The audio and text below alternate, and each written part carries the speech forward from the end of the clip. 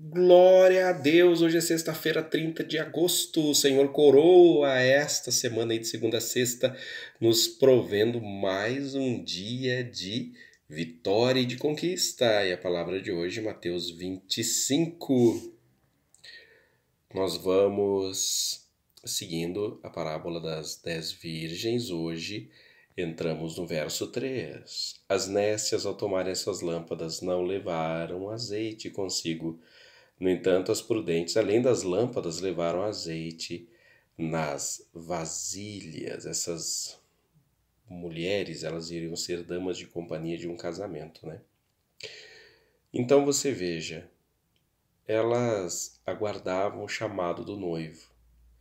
As nécias não se preocuparam em tomar o azeite para manterem suas lâmpadas acesas. As prudentes, sim, levaram azeite nas vasilhas. Então, o que, que nós temos aqui?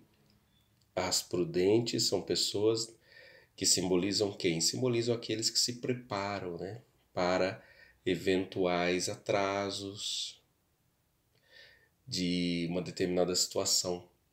Ou seja, na vida com Deus, aquela pessoa vivendo a vida com Deus e esperando algo de Deus, ela não simplesmente coloca o tempo, ela espera o tempo de Deus, sabendo que o tempo de Deus pertence a ele, aquela pessoa, ela procura o quê? Se fortalecer espiritualmente, não é? Para continuar na espera.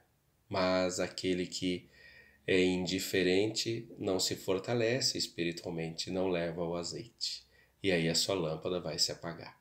Amanhã a gente vai continuar essa maravilhosa passagem. Pai querido, em nome de Jesus, eu oro com todos que oram comigo nessa sexta. Senhor, mais uma semana segunda sexta chegando ao fim, que o Senhor coroe com teu amor. Obrigado, Senhor, que nós venhamos a sempre procurar agir com prudência, olhando para ti, nós manteremos sempre um azeite de reserva. Em nome de Jesus eu orei. Jesus te ama ótima sexta noite, a reflexão da noite. A paz!